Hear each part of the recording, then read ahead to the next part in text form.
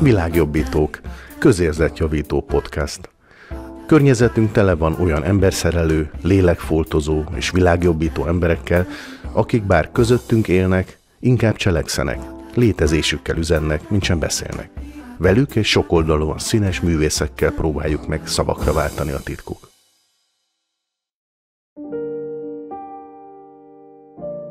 A mai témánk normalitás, abnormalitás. Életünk tele van furcsa, szokatlan helyzetekkel. Olyan emberekkel, akik nem olyanok, mint mi vagyunk, hanem mások. Gondolataik, érzéseik, reakcióik más, amilyenktől eltérő logika mentén működik. Hogyan reagálunk ezekre a váratlan helyzetekre? Megértjük-e a másképpen gondolkodó embertársainkat? Van-e olyan, hogy normális és abnormális viselkedés? Tárnok Zsanett neuropszichológus és Túróci Szabolcs színész beszélgetése talán rávilágíthat arra, miként lehet változtatni saját nézőpontunkon. Én Gyulai Eszter vagyok, a Nézőművészeti Kft. művészeti vezetője, dramaturg. Valaki valahonnan, ahol az embereket mieinkre és tieitekre osztották, nem tudta, melyikükhöz is tartozik. Még egyszer meg nem kérdezték, hogy te melyikhez tartozol. És ekkor megértette, hogy nem azokhoz, akik megkérdezték, hogy te melyikhez tartozol. Ez a nyitó idézetünk Iván Kulekovtól, szerző és showman, olyasmi, mint Fábri Magyarországon. Sziasztok! Hello. Normalitás, abnormalitás a témánk, és beugró kérdésem az lenne, hogy van-e olyan különös szokásotok, amit esetleg mások furcsálhatnak? Zsanett? Uha, mély vízbe. Öm, biztos van. Én nem tartom, gondolom furcsának, de most nekem semmi nem jut ilyen eszembe. Jó, hát a közben eszedbe jut, akkor, akkor is Tekergetem majd... állandóan a hajamat, és egy, egy, egy, egy ujjal, egy kézzel tudok egy csomót kötni bele. Ezt nem tudom, hogy furcsa biztos valamilyen kontextusban furcsa el. Szabi?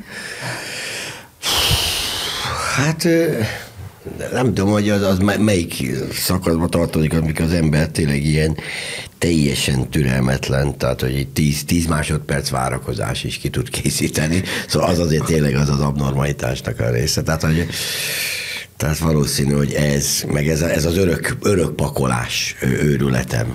Tehát az, az biztos, hogy egy idő után tehát nem normális, tehát hogy, hogy bemegyek, kiszedem azt, tehát hogy olyan, mint amikor egyszer olvastam a, mert Nádas Péternek volt egy interjú vele, és hogy Eszter felhívta Eszterházi Péter, vagy a Farét Eszter, Hajnóci Péter, hogy jöjjön el hozzá, mert hogy, mert hogy most gépelni kell, le akart aki valamit diktálni, nem volt ott a feleség. És akkor elhívta a, a, a Hajnóci a, a Nádas Péter, Nádas Péter befűzte a, a papírt, és akkor várta, hogy jó, akkor majd diktáld. És akkor nem, nem, ő csak azért hívta el, hogy, hogy nem bírt elviselni azt a másfél órát, míg a feleség hazajön, és ez a, ez a tenger azért szeres, mert nekem rossz időszakot ki kellett töltenie, és akkor csinált egy ilyen mechanikus dolgot, hogy kinyitott egy, egy szekrényt, a szekrényből kivett egy doboz, dobozból kivett egy kulcsot, a kulcsotból kinyitott egy ilyen kisbőrönt, abból kivett egy üveg bort, és ezt ugyanúgy így visszacsinálta.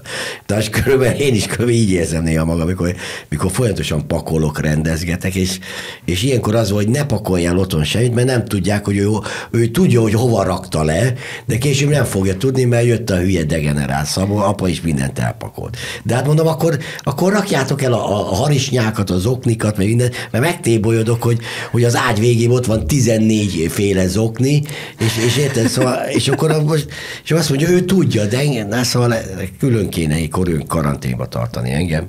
Aha. Nekem ez például nem furcsa, mert én ugyanezt csinálom. Aha. Tehát én, én, én, áll, én is állandóan pakolok. De tényleg, mint, hogy, és mint hogy valószínűleg megszokták, hogy mivel én pakolok, ők nem pakolják el. De aztán meg számon kérik rajtam, hogyha valami, érted? Mm. Tehát, hogyha én nem csinálom, meg olyan káosz lenne otthon, hogy megtébolyodnék, érted? Mm. Valószínűleg azért, mert, hogy valami, mert teljes mm. az egész életem egy degenerált élet, tehát a kiszámíthatatlanságába, és valószínűleg keresem otthon azt a kiszámíthatóbb dolgot, érted? Ez inkább egy, egy sajátosság szerintem, egy személyiségjegy. Uh-huh. Hát, mert hogy, mert hogy... Hogy menekülés az abnormalitásból. Nem, nem, nem. Szerintem ez, ez tehát hogy van ilyen, szóval sok, sok, sokan ezt csinálják egyébként. Beülök az autóba, rögtön bekapcsolom a rádiót, vagy és lehúzom az ablakot, de még télen is. De hogy miért? Hát... Mert ezek rituálék, mert ezek, mert ezek fontos részei olyan, az életemnek. Olyan, mint hogy azt hiszem, hogy az autó be vagyok zárva, érted? És akkor egyből levegő kell nekem. Vagy nekem nem... ez olyan érdekes, mert ezek majdnem mind a, nekem a szabadsághoz tartoznak. Hogy azt érzed, hogy megteheted. Egyrészt a levegő, amit a Zsanett mond, én is azt érzem, hogy de ez a pakolás is, ezek biztos, hogy ilyen levezetési formák hát valahol. A, azzal lehet, hogy vitatkoznék veled, Eszter, hogy ez a szabadság része. Hát adnak is. Te mire gondolsz? Hát mert, mert például szóval se kibírod azt, hogy nem csinálod? Ö, valamikor ráveszem magam, vagy, mikor, vagy amikor azt gondolom, na most nagyon kitolok velük. Most nem pakolok el, most napokig, vagy meglátják, milyen káosz lesz még. És akkor itt szóval nem tudom. De nekem például okoz egy rossz érzést. Tehát, hogy, hogy, hogy mire gondolsz, hogy szabadság? Hogy, tehát nekem sokszor ez egy teher, mert mert nekem van egy igényem arra, hogy mondjuk legyen valami egy, egy rend, rendbe, vagy rendszerbe, és hogyha azt valaki elrontja, ugye, a környezetem, uh-huh. most ezt ilyen nagyon hétköznapi, ő, nyilván nem rontják el, de hogy, de hogy nekem nem az a harmóniám, vagy nem az, a, aha, nem az, a, az igényem, akkor, akkor nekem muszáj azt megcsinálnom, hogy, hogy, hogy, hogy jó legyen. Tehát, hogy, és én ezt nem mindig élem meg szabadságként. Aha. Ezt elfogadom, abszolút elfogadom, és már tovább is léphetünk, mert pont e felé szeretnék menni, hogy te, Zsanett, ugye neuropszichológusként dolgozol, és mi előadás kapcsán találkoztunk. Te, te miért kezdtél ezzel foglalkozni, és pontosan mi a te szakterületed? Mert erről, amiről beszéltünk, ott már fölmerült bennem a kényszeresség, mint szó. Te nem tudom, hogy foglalkozol-e kényszeresekkel, egyrésztről is érdekel, illetve a Turet kapcsán is eszembe egy picit hasonló a mechanizmus, amit én tudok erről. Igen, én ö, foglalkozom kényszeresekkel, pont azért, mert ezek a tünetek, vagy rituálék, vagy ilyen repetitív moz, mondjuk mozgások, hívjuk így, vagy cselekvések, vagy viselkedések, ezek egyébként gyerekkorban nagyon gyakoriak. Tehát, hogy a normalitásba mondjuk akkor így, hogy teljesen így a fejlődés lélektamba beleférnek. És, és mondjuk ilyenek a, ilyenek a, a turet, a tikkek is, és ilyen a, az ADHD is, ami a figyelemzavar, hiperaktivitás. Várjál, bocsánat, mi a turet? Mert én a turet, a turet az laikusként egy, tudni szeretném, hogy... A, a, a Tourette szindróma az egy, az egy, nek a fő tünete a tikkek, amik ilyen önkéntelen igen. mozgások, meg hangadások. Tele van a televízió egyébként. Abszolút, igen. Tehát, hogy, hogy alapvetően nor, normális De nekem el is volt 11, tehát igen. Neked is volt. Aha. 11 éves kor. Mert ezek összefüggenek. Azért mondom, hogy ez inkább egy ilyen személyiség. Ez a Tourette. Uh-huh. És mi volt, volt még egy másik szó? A tik, de a tik az maga a, a tünet. A tikkelés az maga a tünet, az maga a mozgás vagy a hangadás. Uh-huh. A Tourette szindróma az azt jelenti, hogy, hogy ezek, ez egy krónikus dolog, ez azt jelenti, hogy ez minim, egy évig minimum fennáll, és mind a kettő van, hangadás is. És utána elmúlik? Ö, mert azt, nekem elmúlt. Azt szoktuk mondani, hogy elmúlik, de igazából az ember valahogy megtanul e- ezzel együtt élni, és mondjuk belül marad. Én de úgy... ha felhívják rá a figyelmét, akkor még tovább tarthat, az a jó, ha nem hívják fel a figyelmét, vagy az a jó, ha felhívják? Hogyha felhívják, az a jó. Na hát erre, ebbe vitatkoznék, nem biztos, de... Értem, amit mondasz, de, de hosszú távon mindenképpen, mindenképpen az a jó, hogyha ez tudatosul. Uh-huh. Uh-huh. Szóval Amúgy különben ezzel a turettek kapcsolatban csak az, ami a legnagyobb közhely szerintem, hogy ez a káromkodós betegség, és az azért akarom, hogy elhangozzon, mert ez egy, ahogy én elkezdtem ezzel foglalkozni, rájöttem, hogy gyakorlatilag ez a statisztika leg, nem tudom most hány százaléka, hát de nagyon 5, alacsony. 5, maximum 10 százalék. Van egy, ilyen, egy olyan tünete, ami, ami obszcén. És ez lehet uh-huh. cselekvés, mozdulat, hát vagy olyan... kap a 30 év a turet. Szava, szavak, szavak mondogatása. Uh-huh. Igen, Igen, és? És a másik az ADHD, ugye, amiről, amivel... Az ADHD, autizmus, spektrumzavar, tikkek, kényszerek. Ezt úgy kell elképzelni, hogy ezek, ezek gyerekkorban ezeknek a tünetei, ezek a fejlődési tünetei nagyon sokszor összekapcsolódnak. Tehát, hogy lehet egy, egy ilyen túlpörgő, hiperaktív fiú, aki tikke, azért mondom, hogy fiú, mert nem szeretnék diszkriminálni, de fiúknál sokkal gyakoribb, aki tikke, kicsit vannak ilyen kis faxnyai, rituáli, tehát mm. pörög, az isk- okos, de az iskolában mégse tud figyelni. Szóval ez egy ilyen, most egy ilyen nagyon tankönyv, egy ilyen tipikus képet, uh-huh. átlagos képet De hogy ez a szakterületed főképpen? Aha. Igen. Igen, igen. Értem. És őket igen, te fejleszted, vagy őket, amikor elviszik a szülők esetleg hozzátok, gondolom ez történik? Fej, a fejlesztés az itt egy jó kérdés, mert ez, ez, ezeket, tehát a legfontosabb ennek a terápiájában az első lépés az a pszichoedukáció, tehát hogy tudjuk egyáltalán, hogy mi ez, elfogadjuk, és valahogy menedzseljük a hétköznapokban, mert ezek igazából, hát azt szoktam mondani, hogy ez egy ilyen biológiai dolog, tehát, hogy ez nem, nem igazán változik. Szóval, hogy ezek a sajátosságok, meg, meg tünetek, most én nem szeretnék itt ilyen betegségekbe beszélni, mert ezek nem is betegségek, de mégiscsak egy krónikus állapotról van szó, ami valahogy egész életen át tart. Tehát, és maximum ezek... ezt meg lehet tanulni kezelni, vagy tudatosan Igen, esetleg hatni, van, vagy van, kontrollálni. Kezelni az egyénnek is, és a környezetének is. Tehát, hogy itt ez a fő Csak az a kérdés, hogy a, a környezete nem elég intelligens ehhez, most ez nem csak szellemileg mondom, hanem barbárilag, akkor a gyerek mennyire sérül ezzel vajon?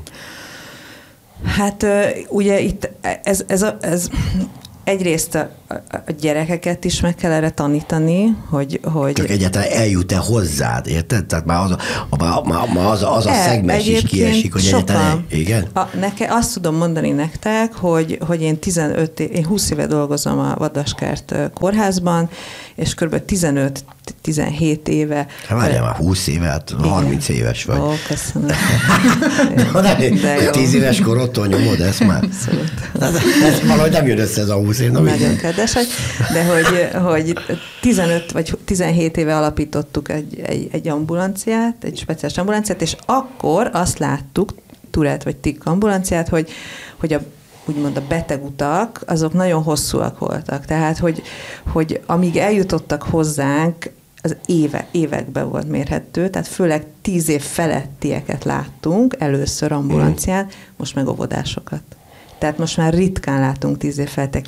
Szinte ez alatt a tizen pár év alatt. Ennyit változott. Ennyit változott, hogy azért ezt így be, behoztuk azért a szakmába, a köztudatba. Hát meg a felgyorsulásnak a folyamata e, Hát is. egyrészt igen, meg, meg hogy, meg, hogy elérhető. gyerekek így húzogatják a, az iPad-et, két éves gyerekek. Tehát ez a, az egésznek a hatása sokkal igen. hamarabb uh-huh. kezdődik valószínű. Uh-huh. De bocs, hogy szabadba vágtam. Nem. Csak. De engem az érdekel, hogy te miért kezdtél ezzel foglalkozni? De pszichológusként más, más irányba is mentél volna. Volt személyes kapcsolatot ezzel, vagy amikor elkezdtetek erről tanulni, akkor nagyon elkezdett érdekelni, hogy ez... Hát amikor elkezdtem dolgozni, akkor ez jött szembe. Aha. Abszolút ez szembe jött. Nagyon, tehát mi a vadaskertben gyakorlatilag ez a fő profilunk. Tehát uh-huh. ami, ami, amit mi látunk, ami probléma, az, azok ezek a neuro, úgy hívjuk, hogy neurodevelopmentális zavarok. Tehát a gyerek pszichiátria erről szól gyakorlatilag. Uh-huh. Aha. És ö, nem estél abba a csapdába, hogy magadat nem kezdted el analizálni, De amikor ezt tanultad? Hát és valamire esetleg így rá, rá, rá, rá? Vagy? Hát persze, hát mi, én végig minden, minden bajom volt. Mindig, amikor Igen? emlékszem, amikor ta, egyetemen tanultunk Azok a valami. Persze, hát végig, a pánik betegségtől, de minden, mindenem volt, persze. Mm, hát és kezelted ez, magad gyorsan. Után. Hát igen, hát akkor nem tudtam. Mhm. Ráadásul ingyen is volt a kezelés. Tehát... Szabi, Na. Mit gondoltál, amikor én azt mondtam, hogy a normalitás, abnormalitás téma kapcsán hívnálak beszélgetni? Mm.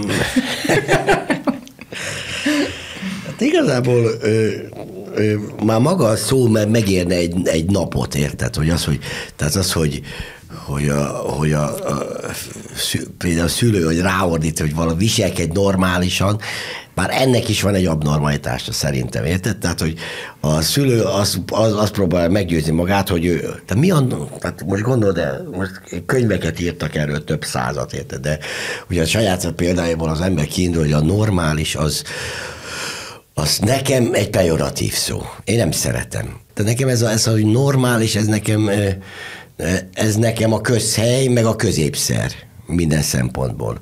Az abnormális, az meg lehet rossz is, amikor fájdalmat okozó, és lehet elképesztően izgalmas. Például volt egy 80-as években egy óriási figura, Dixie, Gémes Jánosnak hívták, Dixie, aki a zenekarok körül is volt, de mindig filozofálgatott kocsmába. És, és például a Bajor filmben, a Rocktérítőben is van egy rész, ahol a FMK-nál mond egy monológot, érted? De vagy tíz percig. És valami elképesztő. Tehát ilyen esküszöm nektek, hogy platóni gondolatok, és mindenki csak röhög rajta meg minden, és vagy két-három ember észreveszi, hogy ez a csávó, ez zseniális dolgokat mond a Dixie, és akkor, és akkor ha azt mondjuk, hogy az az abnormális, akkor meg hiperizgalmas, érted? Normális körülmények között szoktuk használni. Mi a normális körülmény? Érted? Itt most a Logodi utca, vagy Kazinc Marcika, érted? Kinek mi a normális? Tehát, tehát egyszerűen, egyszerűen csak egy, egy, egy töltelék szóvá vált ez a dolog. Volt egy, egy srác, aki egész nap a, a szobájába falat nézte. És akkor a szülők így mindig benyitottak az ajtó, hogy nézd meg, gyere, nézd meg, megint a falat nézést. És akkor mondja neki a fel, hát maguk mit csinálnak? Maguk még a tévét nézik egész nap, nem? Mi, mi a, neki az az izgalmas, a fal, maguknak meg a tévé. Most látja, hogy érted? Szóval, szóval elindul egy olyan téboly ebbe, hogy ebben nincs határ, érted?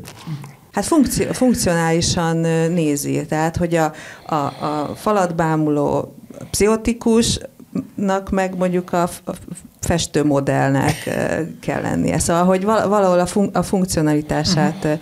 ragadja meg a dolgoknak. Szerintem az egy másik, ez egy másik kérdés, mint hogy valamiről el, eldöntjük, hogy mi normális, meg mi nem normális. Én azt gondolom, hogy ez alapvetően egyébként kontextusfüggő, tehát hogy milyen környezetben ezt hogy, ezt hogy látjuk. Na most itt a, a pszichiátriában ez nagyon-nagyon definitív, hogy ha elérsz ennyi pontot, vagy ha ennyi tüneted van ennyiből, akkor azt mondjuk, hogy, és akkor vannak ilyen kézikönyvek, amik ezt ilyen rendszerbe teszik, meghatározzák, és, és akkor ebbe tudunk tovább gondolkodni, és kijön egy diagnózis. Tehát, hogy, hogy, hogy, hogy ez, ezt így le lehet írni, uh-huh. de ez igazából egy szempontrendszer. Tehát, hogy, hogy ez, ezek úgy működnek, mint egy ilyen kézikönyv vagy segítség, meg, meg lehet ilyet határozni, az ettől való eltérés, az pedig hát a kivétel mindig. Aha. Például érdekes, hogy hogy kérdezni akartál valamit ezt? Ö, de majd mond, mond. Hogy volt, ez, vagy néhány évet csináltam egy ilyen nem tudom, egy ilyen dokumentumfilm, vagy ilyen beszél, és egy autista sráccal beszélgettem, aki, aki mondta, hogy, tehát, hogy nem, már nem is tudom, hogy, hogy, de hogy ő Szegedről járt föl, és mindig olyan filmet választott, ami a Szeged-Budapest vonatút ideje volt. Tehát ez a két óra, tíz perc, érted? És egyszer volt, hogy megállt a vonat, vagy valami, ki, és kibillentette ezt, mert minimum fél és soha többet nem jött föl. Tehát soha többet nem jött föl vonattal, érted? Neki úgy van belül, hogy ahogy indul a vonat, indítja a gépet, Érted? És hogyha két óra, tíz perc, nem tudott mit csinálni. Tehát, hogy, hogy de, és akkor azt mondod, hogy most a, az ő rendszerében ő normális volt, mert nem volt normális a MÁV. Érted? Szóval ez, ez egy tébolyító dolog valahol, a, aki ennek a, ennek a rendszerében él, és, és akkor megint az, hogy feszegetjük itt a határokat, hogy itt hogy mi, de majd mindenen keresztül is, akár egy színházi munkákon keresztül, de menjél a te sorvezető Nem, igazán a, a Zsanetta, amiről elkezdett beszélni, az, az engem nagyon érdekel, ugye környezetfüggő, erről beszéltél, meg, meg hát kultúrafüggő is, tehát hogy egy bizonyos kultúrába elfogadott valami, egy másik kultúrába az abnormális. És hogy például ti tanultatok olyat, hogy mondjuk a neurológiában hogyan vannak a különböző történelmi korszakok, mondjuk az emberi agyfejlődése valószínűleg ennél lassabb, gondolom, hogy ez ilyen szinten tetten érhető, csak engem nagyon érdekel, hogy például akár ezek a zavarok, vagy ne nevezzük őket betegségeknek, ezek például az emberiség történetben hogy változnak, mennyire sűrűsödik, mennyire lesz, lesz egy bizonyos zavar gyakoribb. Nem tudom, hogy ezt lehet erről így. Ez, ez nagyon érdekes, mert mert azért vannak olyan zavarok, akkor nevezük így, vagy tünetek, amik, amik szoktak ilyen divat, divat lenni. Szóval, hogy, hogy Mondj egy példát, például.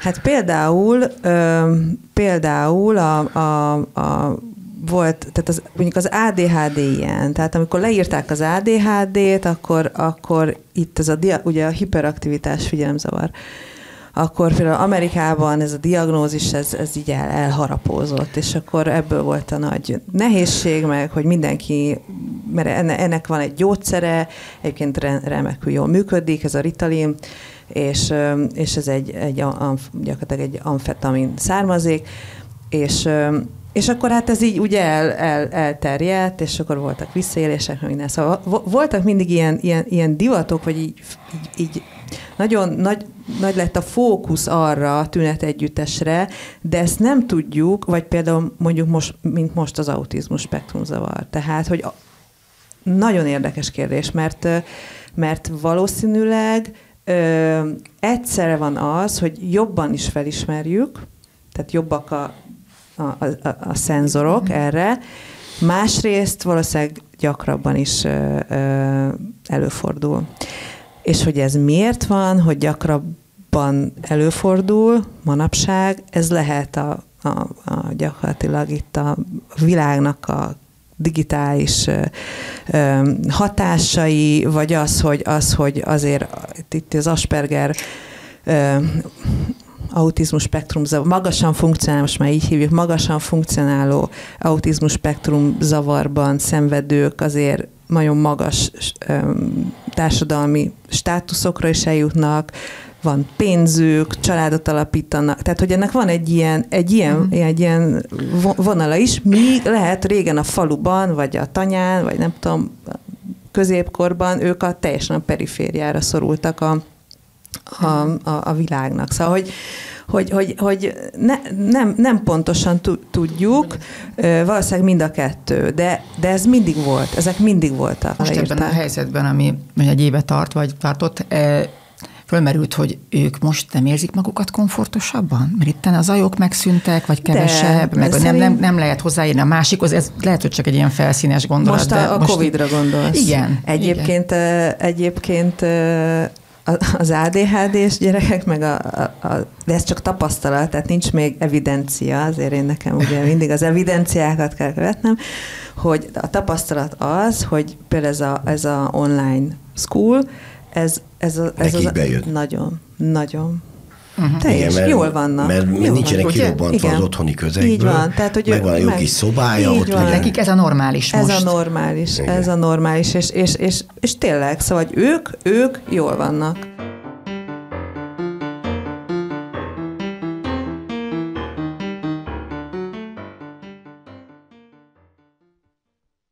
Alkalmazkodni annyi, mint betartani a társadalom adta szabályokat, normákat, beilleszkedni a nagy tömegbe, egyetérteni és együtt élni mindazzal, ami a világban van, ami a világban történik. Én kimondhatatlan erőfeszítéseket teszek annak érdekében, hogy megtartsam saját szabadságomat, hogy le ne romboljam a magam alkotta világot. Már rég rájöttem arra, amire a mindegy emberek még nem. Az alkalmazkodás rabság. Aki alkalmazkodik, azt hívják normálisnak, írja Benedek István.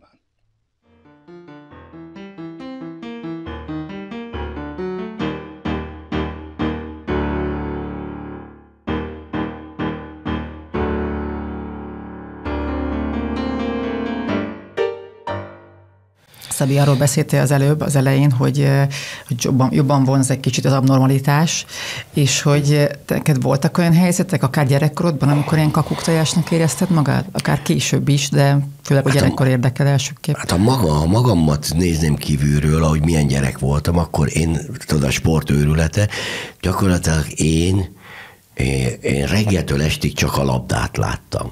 Tehát így, így magam előtt. Tehát, hogy ez, ez, egy, ez egy megszálló dolog volt. Tehát én, én úgy mentem már reggel iskolába, hogy a labdába az ilyen hálós szatyorban, és folyamatosan rugdostam, stoplis cipővel jártam, tehát hogy annyira szerettem, annyira ez az életem volt. Ez is jó, hogy felvettek a sportiskolába, és ott annyira lefárasztottak, hogy én reggel ötkor keltem, 5-20-kor ment a buszom, reggel edzésem volt kettő óra, a délbe suliba aludtam végig, így bóbiskoltam, mindenből kettes, hármas, négyes volt, délután edzés volt, és akkor e, még az Erdély volt végén egy nagy futás sóstól, és utána mentem haza, megettem másfél liter vaníliapudingot, ilyen ö, gálapudingot, és elaludtam fél nyolckor.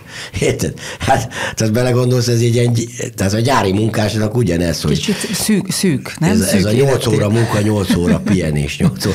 Tehát, hogy ez volt, ez volt nagyon sok. Hány éves korodig? Hát tizen, majdnem 16. És hogy lett ennek vége? Sok minden érdekes dolog volt, de igazából az, hogy egy a gimnáz, tehát először onnan indultunk, hogy hát valami szakmunkás képző csak elvégez. Utána egyre jobb lett a jegyem, akkor utána, hogy na, maximum egy tanárképző főiskolán egy testnevelés, bioszak. Ez, De már ez nagyon ez- fura, hogy maximum egy szakmunkás képző egy ügyvéd családban, Igen. szóval ne arról beszéljünk, hogy igen, a, a hát- családod az nem egy hát értelmiségi család. nagyon, rossz- nagyon rossz tanuló voltam, és ki, hogy jött a gimnáz, de és akkor volt egy, egy érdekes szituáció, hogy az anyámnak jött egy kolléganője, akinek a férje az ortodoxodál van család, tehát az ortodox pap volt, és akkor a szembe volt a parókia, meg a lakások a gimnáziumban, és akkor sokszor jártam oda egy idő után, és akkor hát az férje egy ö, úszistanak ide, egy zseniális pap volt, aki hihetetlen tudással rendelkezett, és akkor ott mindig átmentem, és akkor hallgattam, hogy nagyon furi emberek voltak így körülöttem. Például ott, ott Gönc Árpád volt köztársaság, aki író gyakorlatilag. Tehát ilyen, ilyen barátai voltak, tehát ilyen zicsik voltak, ilyen. És akkor így hirtelen egy három-négy órákat ültem az asztal szélén, és akkor tényleg beszélgettek Tarkovsky, mit tudom én, áldozathozattal, vagy André Rubio filmről, és akkor ott, ott kezdtem el figyelgetni, miről domálnak, akkor elkezdtem filmeket nézni, jártam filmklubba, Kieslowski lengyel filmeket, és akkor hirtelen így beindult az agyam, és már nem nagyon érdekelt a futball, és hát ott is volt egy ilyen törés, hogy jött egy edző, aki, aki nagyon megalázott egyszer-kétszer, és akkor többet nem mentem. Uh-huh. És hirtelen eltávolodtam a futballtól, és de a futball ez egyébként az is egy szélsőséges őrületes dolog, de az sem normális hogy 14 évesen salakos pályán becsúszunk, érted? A sebekket, érted? És akkor, szóval nem volt az se normális, szóval, szóval, de imádtuk. Tehát, hogy megszállt. Tehát mindig mondják, hogy a No Camp az egy óriási, a Barcelona stadion egy óriási színpad. Ugyanaz a katarzis, mint egy jó színházban. Középszerű foci meccsnél semmi nem történik veled. Színál, érted, van egy olyan, hát voltam már olyan meccseken, érted, a világ stadionjaiba, a- nem olyan sokat, mint mondjuk Mucsi Zoli, mert ő már volt a Bernabeu. De mind- Tehát, hogy volt, vannak ilyen nagy katarzisok, ami, ami nagyon, tehát a színház az nagyon-nagyon összefügg szerintem a például a, a futballnak a, a pszichológiájával, tehát, tehát nem, nem kerültem olyan messze, csak sok mindent elkezdtem olvasni, meg nézni, meg látni, meg utána jött a színház. De közben maga az életút sem annyira normális. Tehát, hogy az emberek, hát- hogy elképzelik, hát öt évesen már verset mond, akkor utána fölveszik a színműre, és utána Igen, színész lesz. igen. Na most ebből a szempontból, amit te csináltál Teljes végig, az, az nem volt. normális, vagy mondjuk Igen, ki. igen, mert, mert, igen, igen, mert például, te gondolod, de már az első színházi előadás, amiben játszottam, az a Gál Erzsébet, meg a Zsolt és a Nyíregyházi Színházban, az nem a nagy színpadon, hanem a díszletraktárban volt maga az előadás. Tehát már maga ez a szüleimnek, meg akik jöttek nézni kis kosztümbe, hogy egy ilyen szálkás padra kellett ülni, és mi, majd nézted, hogy ülnek le, azon rögölgölcsöt kaptál, hogy jaj. Akkor tehát, már az első előadás már ilyen volt, amiben játszottam, érted? Uh-huh. Tehát az, az már maga, a, a provokáció maga, egy, meg Georg Büchner, hogy Georg Büchner szövegei, hogy bajasz a hullákra lépek, hogy kimásszak a sírból, érted? És akkor néztek így jobban, mi ez, mi ez? Hát ahhoz képest mit szoktak meg, hogy kaktuszvirága, meg ha nagyon kemény, akkor egy Schiller árvány és szerelem, de akkor nagyon kemény, és akkor azt végig, végig szundikálják, érted? És ehhez képest már így indult. És szoktam mondani, hogy gyakorlatilag én a tehát, hogy nem, hogy az előszobájában voltam ennek a színmű, hanem én a pincéből indultam. és a pince alatt még volt egy kis jár, onnan indultam el ilyen kacskaringósan, de, de mindig az, abban volt szerencsém, hogy nagyon sok, tehát olyan tehetséges emberekkel dolgoztam, vagy szippantottak be, tehát nekem óriási szerencsém, hogy például a Zsótér Sándor volt ennek az elsőnek a dramatúrja, meg a Gálezsébet, tehát ilyen karcos, ilyen hihetetlen szellemiség emberekkel találkoztam először, mert mondjuk ha találkozok egy, egy de valószínűleg nem ragadott volna maga, hogy egy ilyen musicalbe kell lett volna énekelnem, és ott mag, megtetszik a musical éneklés. Valószínű, hogy az agyam így volt trenírozva, hogy nekem ez a fajta ö, szélsőséges, hihetetlen, őszinte, döbbenetesen természetes világ, amit az, az, az, az egyből megragadta a figyelmet, és ez, ez, ez, ez lerakta úgy az alapokat, szoktam mondani, hogy valószínűleg nagyon jó, hogy velük találkoztam, hogyha akkor ne, ha, ha kevésbé hatásos ember lett volna, nem biztos, hogy a színház felé megyek. Hogy érzitek, hogy az egyéniségnek a kultusza erősebb ma, vagy így a tömegkultúra? Szerintem nagyon, egy, most éppen nyilván minden világ nagyon nehéz, amiben élünk, de hogy most én azt gondolom, hogy, hogy olyan, tényleg olyan gyorsan vál, változiknak a, a tehát egy, egy életen belül is a, a kontextus, a környezet, amiben élünk, hogy, hogy, hogy nem is, nem, ne, nem lehet tudni, hogy mihez alkalmazkodj. Szóval, hogy, hogy nagyon nehéz a, a szülőnek látnia, nem tudja azokat a tradíciókat, meg azokat a, a, a hagyományokat, meg azt a nevelési elvet, amit, ahogy őt nevelték, meg ahogy a nagymama, meg a dédmama, mert az, az, már, az már valahol nem érvényes, mert ebben a világban érvényét veszti, még akkor is, hogyha ő azt érzi, hogy lehet, hogy az, az, azt úgy kéne, de ez nem működik, mert egyrészt, ha az is akar alkalmazkodni, akkor ahhoz is kell, hogy, hogy nem tudom, ehhez az egész digitális felálláshoz. Mondjuk, most mondtam egy példát, ami nyilván hoz egy olyan tömegtájékoztatást, amire semmilyen kontrollunk nincsen.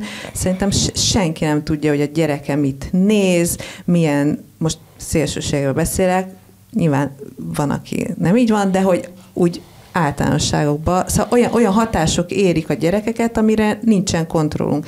És valahol amit a Szabi mondott, az, az tényleg egy, egy nagyon nehéz helyzet, mert egyrészt ilyen ambivalens, hogy meg akarod óvni attól, hogy meg akarsz neki adni mindent, hogy, és ettől kialakul egy ilyen overprotectív, túl, túlvédett uh, helyzet, ami egy, hát tulajdonképpen nem egy túlvédett helyzet hát, valahol, meg nem a, mert nem a valóság.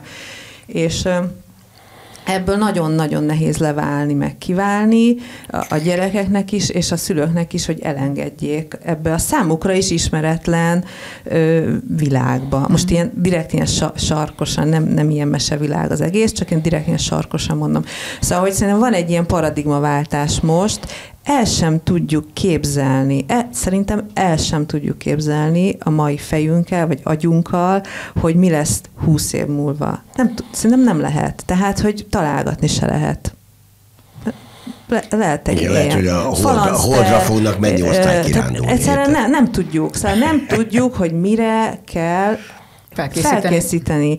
És, és, és az emberek nem ennyire tudatosak ebben, hogy, hogy ezt ebbe belegondoljanak, vagy lehet, hogy beleéreznek, de, de, hogy, de hogy lehet, hogy ezek azért vannak, mert, mert picit mindenki egy ilyen mikro, megpróbálja a mikrokörnyezetét amennyire lehet kontrollálni, mindent megadni, de hát szét van töredezve a világunk, szóval, hogy, hogy, hogy nem lehet összehasonlítani. Mindig azt szoktam mondani, az én apukám, aki, aki egy tanyán született, Baja mellett, Bács megyében, és, és, hogy, és akkor most meg, hát ő azért nagyon modern, szóval, hogy azért ő így, így szeret mindent kipróbálni, nem tudom, tehát nagyon vagány.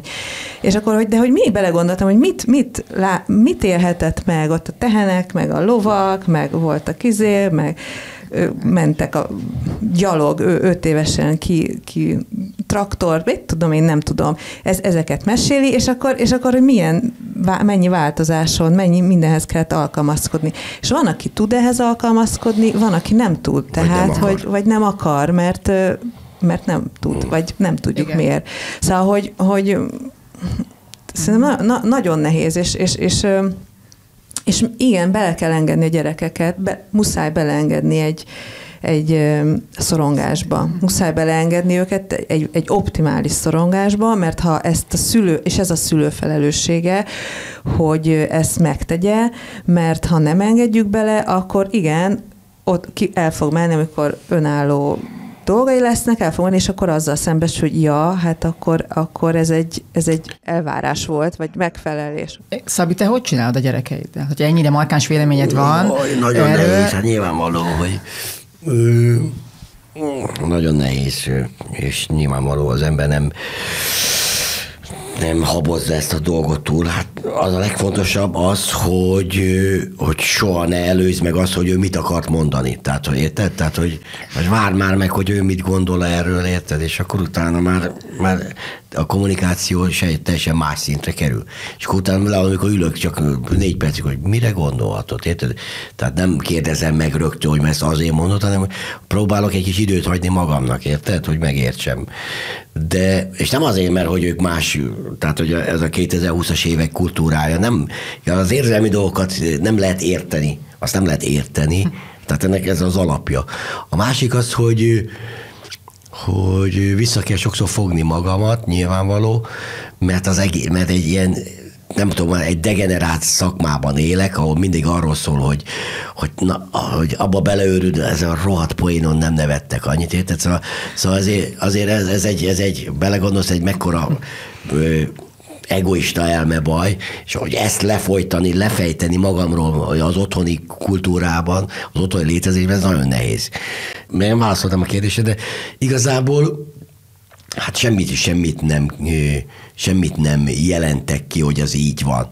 Szerintem ez fontos. Tehát én nem jelentem ki, hogy így van, hanem annak van ezer és, és mivel annyira tehát annyira a lányoknak a, a, a tizenéves érzékenysége szerintem más, mint a fiúknak, mert a fiú az, a fiú az el volt egy gördeszkával, meg tehát attól kicsit azért szűkebb a, a fajta ér, érz, érzéki létre, mint egy csajnál, és hát az édesanyjukkal annyira jól tudnak így létezni együtt, hogy, hogy néha én tényleg belezavarok, de én meg csinálom azt, amit ők szeretnek bennem, érted? Tehát meg, hogy mm, meg amit, amit például, hogyha már feltunyingolom azt, hogyha valami nagyon finomat főzök, akkor azt úgy tálalom, hogy na, hogy mi, és akkor ennek tudok, ennek ezer jelét adják, hogy mennyire szeretik, hogyha ilyen vagyok, érted? Vagy, vagy viszem őket lovagolni, és akkor figyelem őket, hogy lovagolnak, és ez, és ez nekem óriási élmény, érted?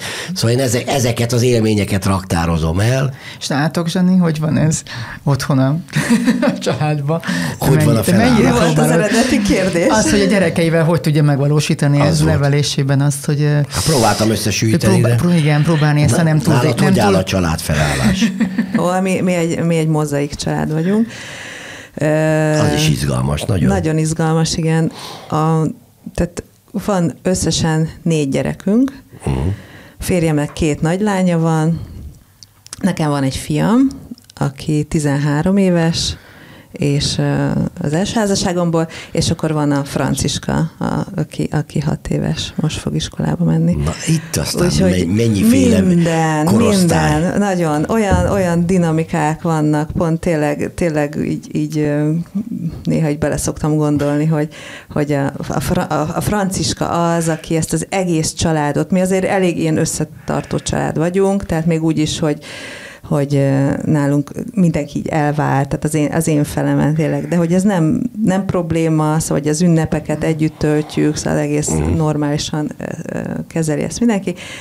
Úgyhogy, de hogy, a, hogy a, például a Franciska az, aki ezt az egészet összetartja, ugye ő az egyetlen, aki közös, közös tehát hogy mindenkinek a rokona, akkor szóval mindenkinek van egy pozíciója ebbe, egy, egy helyzete, a, a, a lavírozás az magát, egy... Igen, igen, ez, ez igen, de hogy, de hogy ez, ez izgalmas. Tehát, de nincs a Franciska másabb az egész családi Igen, volt, volt, volt olyan, sokáig volt olyan, tehát Más, igen, mert akkor, akkor, akkor például nekünk, mint mint pár volt többi, szóval, hogy, hogy iz, izgi, izgi a mi családunk egyébként.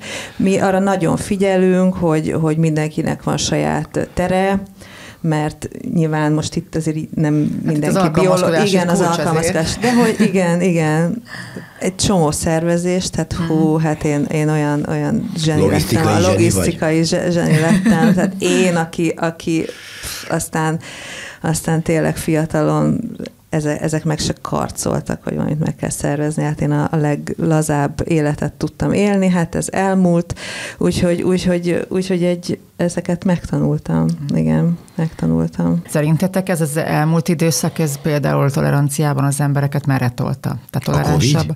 Igen, Arra tehát ez a, ez a nem várt kis krízis. Mert ugye ez egy krízis helyzet, valahogy ez egy, ez egy olyan... Hát ez még tart is, és egy darabig meg fog is tartani szerintem. Igen, de hogy erre, hogy például ti hogy reagáltok ilyen, ilyen váratlan helyzetekre? Tehát mennyire előre menekülés van az emberben, vagy mennyire álltok meg? Hát maga a társadalom szinten meg a tolerancia érdekel, hogy, hogy az bizonyos dolgokkal szemben az emelkedett, csökkent, hogy hogy érzitek? Szerintem ez egy nagyon labilis dolog nekem. É, hogyha engem kérdezel, én, én, előre, én mindig előre menekülök. Én olyan, én olyan típusú vagyok. Tehát, hogy én, én nagyon pró- próbálom kontrollálni a hely- a helyzeteket, és akkor, és akkor ö, ö, valahogy ezt így ö, ehhez úgy alkalmazkodni, hogy uh-huh. nekem is jó legyen. Tehát, hogy, hogy ilyen win-win szituációt Ö, Szerintem, de nem tudom, hogy ez sikerült-e. Tehát, hogy én ezt azt gondolom, lehet, hogy ezt utólag, utólag fog kiderülni, hogy ez sikerült-e. Én most azt érzem, hogy sikerült. Alapvetően szerintem a tolerancia, hát nem tudom. Szóval ez jó kérdés, hogy a, az, a nagy átlag, hogy az emberekben, vagy a társadalomban ö, Történt elmozdulás? Hát erre, nem tudnék válaszolni. Még csak az jutott eszembe, hogy, hogy itt a COVID, COVID kapcsán, hogy van, szerintem van egy, van egy, vagy volt egy, még mindig van, egy ilyen kvázi ilyen, ilyen szociális elvárás a tolerancia felé, hogy akkor most így, így most ez, akkor egy, van egy ilyen helyzet, és akkor így most így tole, toleránsnak kell lenni, de szerintem ez nem, és lehet, hogy amikor ez elkezdődött, akkor, akkor kicsit olyan volt, hogy ez a sok jó, meg tapsoltak, meg izé, tehát minden, minden ilyen, ilyen nagyon ö, ö, minden olyan nagyon-nagyon úgy tűnt, hogy ilyen elfogadás, meg, meg, meg tolerancia irányába megy, de én szerintem az, hogyha valaki így, to, to, to, tehát attól, hogy toleránsan tud viselkedni, nem biztos, hogy toleráns. Tehát, hogy, hogy ez két külön dolog, mert ez is egy nyomás. Tehát, hogy mindig, mi, amiről beszélünk, nekem így nagyon, nagyon Egyrészt az alkalmazkodás, meg az elvárások. Szerintem nagyon fontos azt látni, hogy, hogy, hogy ez kiből jön. Tehát amikor nekem alkalmazkodni kell egy, egy társadalmi elváráshoz, hogy tisztelnem kell a, nem tudom, ezt, meg azt, meg, meg így kell, meg úgy kell, az, az lehet, hogy tudok úgy csinálni, mert egyébként akkor elvisz a fekete autó, de, de, hogy, de hogy egyébként az engem nem biztos, hogy boldogá tesz, meg nem biztos, hogy ez ugye itt ebben az idéz, tehát a szabadságomat az, az elveszi. De tehát mindig, amikor má, a másnak való megfelelés, a, hívjuk alkalmazkodásnak, mert ugye most tudjuk, túllépünk ezen, hogy abu, abu, abuzáltuk ezt a szót, vagy abuzálva van, akkor, akkor a, mindig az a legnehezebb. És hogyha amikor a szülőknek való megfelelés, vagy tehát egy társadalmi, egy szociális normának akár legyen az a való megfelelés, mindig az, ami az az, ami az egyénnek a legnagyobb szenvedés, nyomást tudja okozni, annak ellenére, hogy lehet, hogy tud úgy viselkedni, mert nem mondok ellent a, a szülőmnek, mert viszem tovább a, nem tudom, a családi hagyományokat, mert tudom, hogy a, a nem tudom, a politikusok. Tehát, hogy tudok viselkedni, de, de hogy az, az nem biztos, hogy én olyan, olyan azt gondolnám, vagy, vagy, vagy olyan vagyok. De amikor ez magam fele van, tehát mondjuk egy ilyen elvárás magamra irányul, akkor, akkor ott ez a szenvedésnyomás, ez, ez, ez nem olyan, mert amikor én akarok alkalmazkodni, meg én nekem az egy az életemnek egy, egy része, tehát az belőlem jön, az elvárás, akkor az rendben van. Én az autistákkal is ugye foglalkoztam, a Börcsökenikővel csináltunk egy monodrámát, még régebben, és én akkor azzal szembesültem, hogy olyan szinten őszinte önazonos emberek, tehát hogy képtelenek, nem értik az iróniát. a bölcsökre is igaz. Az, iróni, ne, az Enikőre is igaz volt, abszolút. Ez így tehát, van. hogy annyira, hogy a hazugságtól mentesek, az, nem értik az iróniát, tehát, hogy olyan, amikor azt lett számomra bámulatra méltó volt ez, és a saját magam őszintességi szintjét újra kellett gondolnom, mert, mert egész szélsőséges dolgokkal szembesítettek ők. Tehát kicsit azt is érzem, és itt meg irigyellek, van, Zsanett, hogy, hogy te azért nagyon sok ugye gyerekekkel dolgozol, és, és önazonos, őszinte emberekkel. Hát meg a gyerekek a saját jogukon is általában még önazonosak Igen. és őszinték. Tehát, hogy, hogy ezt, ezt, ezt nagyon jól látni. Tehát nekem a mindennapi munkámban, nekem ez, ez, ez, nekem ez nagyon szép. Tehát nekem szép, szép munkám van, mert, mert, mert ezt, ez, ez, ez, ez nagyon jól látni egyébként mm. tényleg. Nagyon sok világ van, tehát hogy, hogy nagyon, nagyon sok világ van, ezeket nem lehet megismerni, de amikor találkozol egy, egy más Mm. más milyen világgal, akkor, akkor hát ez az, az hogy mennyire a nyitottságod, is, mennyire. Van, mennyire vagy nyitott. No. Tehát én szerintem ez, ez egy ilyen kulcs, kulcs dolog, hogy, hogy mennyire tudsz befogadni, alkalmazkodni egy másik világhoz. Uh-huh.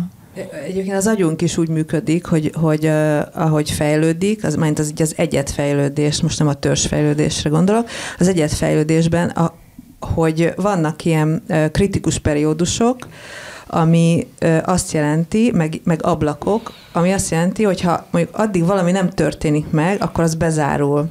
Tehát, hogy van egy nyitottság, ami, ami, ami ott van, és ha az a az, az agyunk nem tud magába fejlődni, hiába kellenek a környezeti, tehát a tapasztalat, ke, kell a hatás, kell a, kell a sok, sokféle inger ahhoz, hogy fejlődni tudjon. És, és ez egy ilyen, egy ilyen dinamizmus. És hogyha mondjuk valaki nem hall emberi szót, mondjuk hat éves koráig, akkor ez az ablak bezárul, és nem fog tudni megtanulni beszélni.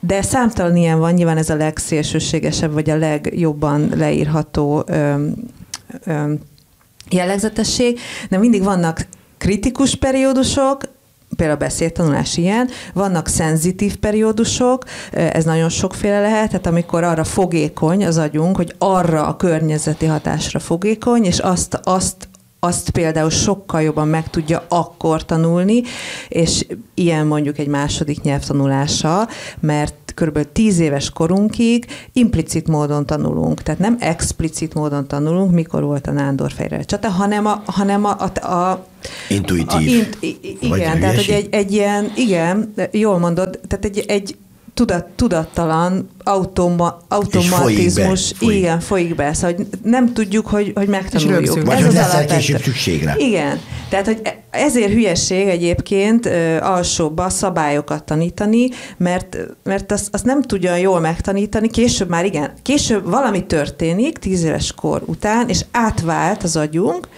és, és, és ahhoz alkalmazkodik inkább, amikor ilyen explicit szabályokat, rendszer, amikor jön a rendszer, tehát egy előtte van egy kvázi rendszertenség, egy tapasztalat, amiben a szülőknek azért nagyon nagy szerepe van, nyilván, meg a környezetnek, meg a hatásoknak, és hát a, a, itt a nyitottság az, ami szerintem az alkalmazkodást meg fogja határozni. Tehát ezért hozom be az evolúciót, hogy, hogy az alkalmazkodás, az a létfenntart, az a, az, az, az a, létünknek a kulcsa, viszont lehet, hogy mellé kell tenni ezt a nyitottságot is, mert, mert minél több inger éri a gyereket, vagy a fejlődésben levő agyat, valószínűleg annál, annál jobban uh, tud uh, uh, majd a később ebből profitálni. De ez egy hipotézis. De nyilván van, vannak olyan állapotok, mint például az autizmus, ahol ez nem biztos, hogy igaz. Uh-huh. Köszönöm szépen nektek. Az adásban elhangzó irodalmi idézeteket Mucsi Zoltán előadásában hallottuk. A következő adásunkban a két beszélgető társam Páfikat a színész, meseterapeuta és Méhes Csaba pantomim művész bohóc lesz. Búcsúzól hallgassák meg Moldvai Kis Andrea előadásában a kínai vízárus meséjét.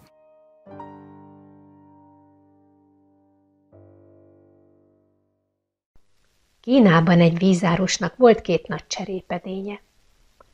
Annak a botnak egy-egy végén lógtak, amit a nyakában hordott. Az egyik edényen volt egy repedés, míg a másik tökéletes volt. A pataktól a házig tartó hosszú séta végén a megrepett edény már csak félig volt vízzel. Két teljes évig ez így ment. A vízárus ezért csak másfél edényvizet szállított vissza a házba. A tökéletes edény büszke volt a teljesítményére, de a szegény törött cserép szégyelte és nyomorultnak érezte magát. Két év keserűség után egyik nap megszólította a vízárust a pataknál. Szégyellem magam, mert a víz szivárok belőlem egész úton hazafelé. A vízárus így válaszolt a cserépnek. Észrevetted, hogy a virágok az ösvényen csak a te oldaladon nyílnak. Ez azért van így, mert én mindig tudtam a hibádról, és virágmagot szórtam az ösvény egyik oldalára. Minden nap te locsoltad őket, amíg hazasétáltunk. Két éve leszedem ezeket a virágokat, hogy az asztalt díszítsem velük. Ha nem lennél olyan, amilyen vagy, akkor ez a gyönyörűség nem ragyogná be a házamat.